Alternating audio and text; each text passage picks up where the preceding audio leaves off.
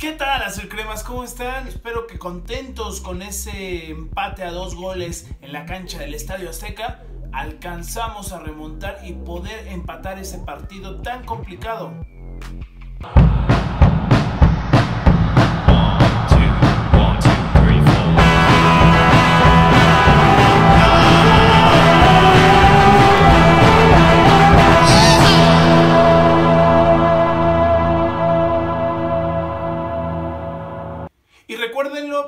Descargar la mejor aplicación del fútbol nacional e internacional, se llama OneFootball, está disponible en todas las tiendas de aplicaciones para Android y iOS.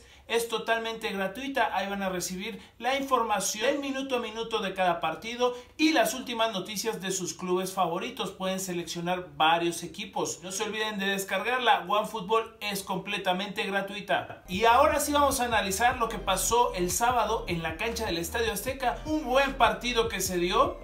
Empezamos y no se habían cumplido ni 3 minutos de juego y empezábamos perdiendo. Desconcentración en la defensa. El equipo de la universidad supo leer muy bien el partido y aprovechó esa desconcentración para marcar el primer gol. Parecía un partido complicado y un partido cuesta arriba, pero poco a poco los universitarios fueron desinflándose y fueron entregando un poco más de terreno y así se consiguió el primer gol y qué clase de gol de Oribe Peralta.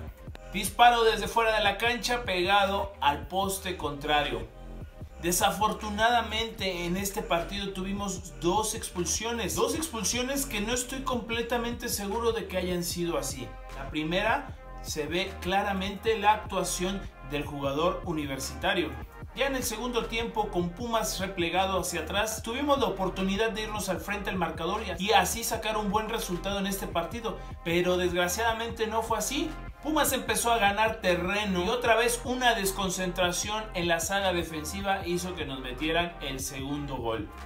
Pero señores, esto es el América y los tenemos bien puestos. El equipo se puso los pantalones y empezó a apretar al final del partido y poco a poco, sin dos jugadores en la cancha, conseguimos que el partido se empatara a dos y empatarlo en el último minuto. Tremendo cabezazo de Henry Martin. Lo positivo de este juego que deja es que Oribe y Henry hayan anotado gol, los dos importantes delanteros que tenemos. Que a Roger Martínez se le ve cada vez más enganchado con el club y se ve que quiere dejar una marca en este club. Lo malo es que la saga defensiva sigue fallando todavía mucho atrás, mucho, mucho. Se tienen que todavía ajustar muchas cosas. Vi muchos jugadores de la defensa caminando en la cancha.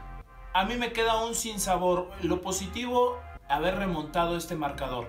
Lo negativo para mí, creo que se pudo haber ganado el partido fácilmente Ahora toca partido de Copa frente a Dorados en la cancha igual del Estadio Azteca y ahí estaremos por supuesto para seguir apoyando a nuestras águilas. Tenemos que empujarlas para conseguir el primer lugar de la tabla general de la Copa y así cerrar todos, todos los partidos en casa y tenemos una chance más de poder salir campeones de Copa. Ya sabemos, el partido de ida terminó en un 0 a 0, horrible 0 a 0. Aquí en la Ciudad de México yo creo que el América podrá conseguir una amplia victoria. Amigos, no se despeguen del canal. Recuerden darle en la campanita para que les lleguen las notificaciones de todos los videos que subimos. Si no se han suscrito, suscríbanse, denle like a este video y compártanlo para que más americanistas lo vean. Y venga, vamos, cremas, la puta madre que todavía se puede. El torneo no se ha perdido y aquí estamos.